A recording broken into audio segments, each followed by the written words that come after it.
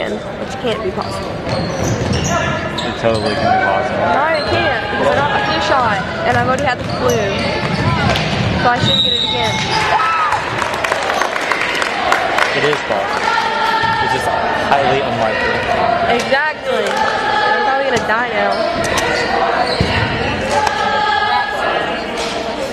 That would be a funny joke. I died because I got the flu shot. You people can do that. You can die from doing anything. For you.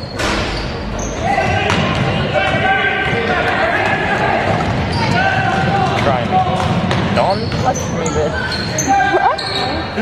So there's this little Indian kid What's his name? on a video. So there's this little Indian kid on a video, and he's riding a bike, and the guy like tries to Game tickle him, over. and the guy tries to tickle him, and he's like, "Don't touch me."